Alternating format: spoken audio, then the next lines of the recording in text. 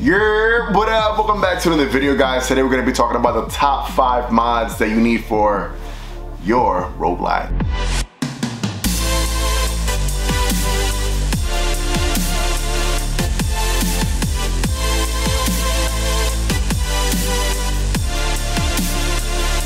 So I'm gonna pick five mods that you definitely need on your Road Glide, and then we're gonna do an honorable mention. Number one, we're gonna start with bars. We all know that the stock bars on the Road Glide aren't the prettiest.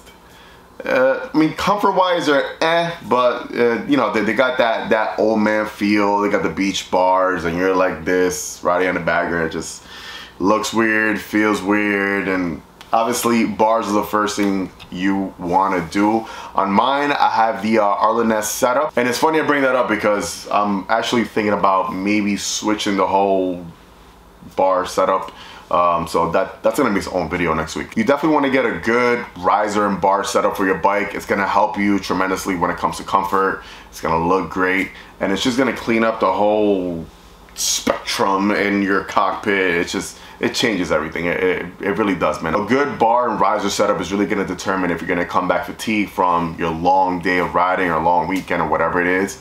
But it definitely helps out in every way. Number two, now that we're, you know, let's just stay with the comfort first and then we'll dive into everything else. Obviously, number two is gonna be a seat.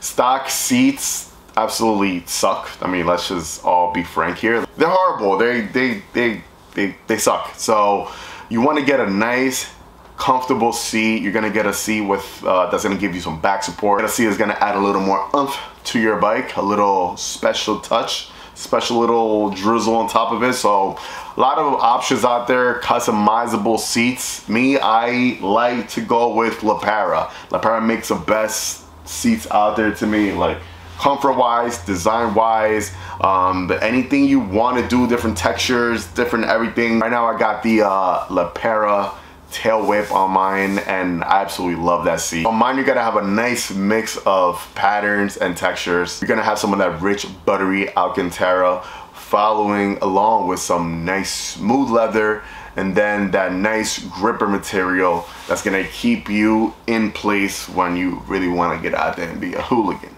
We also got some red stitching out here. You can get some all type of designs and everything just to make that seat and that bike very, very special. Rolling into number three, we're still gonna be talking about comfort still because honestly, when, when you're on a bike, the, the, the, the key thing you want is also comfort, right? So let's talk about suspension. That's gonna be the third one. Suspension. You wanna make sure you set up your ride right with some good suspension. Um, I had Legends on here before.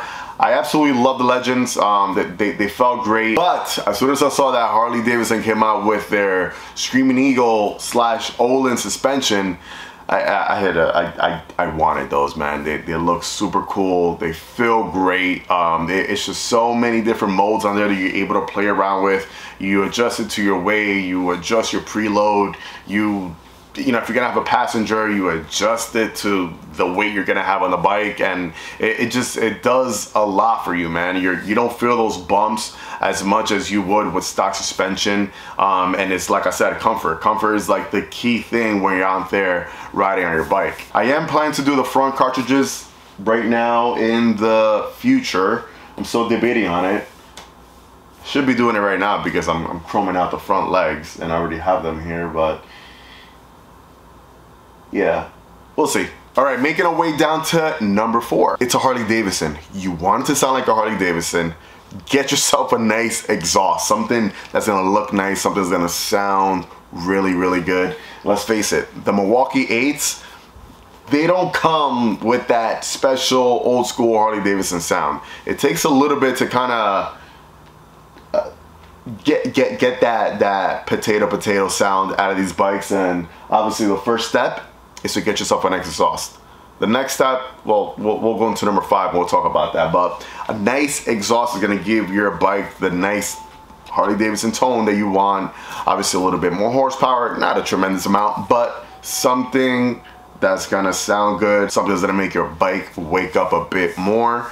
And something is gonna make you more noticeable out there. Let's face it, we wanna be heard when we're out there on the road. There's a lot of crazy, oblivious drivers out there that are just constantly just on the phone, they're not looking around, and you, you wanna be heard. Honestly, like, and, and it's a little cliche to say where it's like loud pipes save lives, but like in today's age, like when everybody's just driving, constantly on the phone, not paying attention to the road, if you're rolling by with a loud bike, it kind of, you know, whoa, kind of kind of wakes the driver up, you know, kind of makes them a bit more aware. So cliche, but it's true. On my bike right now, I am rocking out with the Khrome Werks full system exhaust. Um, I have the stretch bags. I would love to have a twin one, but the stretch bags, it just looks weird when you have one exhaust and it's just, eh, I got that gaping hole in the back. So uh, would I prefer a, a two and a one? Yes, and I always tell people get a two and a one. So without the stretch bags, two and a one. With the stretch bags, obviously you want to keep the bike looking nice and clean everywhere. Um, two and a two. But Khrome Werks, they uh, they, they, they, they sound great, man. They, they sound really good and have a lot of different options, different colors and different pipes and everything. So check them out as well. But there's a lot of different companies that they're making great exhausts for bikes as well. Bassani uh, makes a great few pipes for road glides. Um, if you want to go with a TBR, if you want to go to Fab 28, or if you want to go to HPI, amazing pipes. So th those are like my top favorite pipes right there that I would kind of play around with and uh, and recommend. Number five. Let, us let's talk about number five because number five to me, like I was mentioning before, if you really want to wake that Milwaukee 8 motor up and make it sound like a true Harley Davidson and get yourself some real power, baby, you're gonna want to get yourself a stage two. So right now I have a Screaming Eagle cam in this bike. Definitely woke it up. Definitely sounds a bit better from the stock sound. But guess what? I kind of I want a bit more power right now. I want the bike uh, to sound a bit deeper. I want I want I want, I want a nice deep louder low by just uh and, and I'm, I'm I want that sound and power, man. So I went ahead and I ordered a full stage two fueling kit. So the, the fueling kit comes with every little everything on there, man. So I mean, that's gonna be next week. Gonna be installing that over at the Torque Custom Cycle Shop, and um, the the bike is gonna wake up, man. A lot more horsepower, a lot more torque. Especially with these pipes, man. It's just gonna be a nice little mix. It's gonna it sound like it's, it's it's gonna be like an orchestra, just dialed in. Now, I did say that I had a honorable mention, so this honorable mention I really wanted to put in my top five. I was like, yeah, you know what? Like, let, let me just pick out the most important things. So my honorable mention is heated grips. If you're on the East Coast like I am, I don't know if you guys see that. I'm in my garage. It was like super cold in here. It's freezing. But it, it's, it's, yeah, it's like 30 degrees today, maybe 28. So it's freezing. So if you're, if you live in the East Coast or anywhere where it's cold, I highly recommend heated grips. On this one right now, I have the Empire Collection heated grips. They do its job, man, and, and, you turn the bike on and instantly they start heating up. You don't need to crank it up to level five or six, whatever it is. It, it they, they, just, you can leave it on three and it's like, it, will load up right away. Um, three or four, you, it gets to the point where sometimes you kind of gotta, I find myself toning it down to like level one and that that's how much they work. Um, even for like those like not winter days, but just like the chilly fall days or early spring days was like 50-ish, you know, maybe low 60-ish, and you just want a nice little turn them on and just oh, it's so warm nice and toasty it's uh yeah and and once you use heated grips uh, believe me you're not gonna want to just get like regular grips you're gonna you're gonna want heater grips, man. And if you're like me, having your hands nice and warm in cold weather while you're riding, you're it, it, it's a must, man. Because once my hands go, like I'm, I'm done, man. I'm like, take me home. That's it. Um, like my my whole body, I, I, don't need heated gear, but as long as I have my heater grips, I'll be good.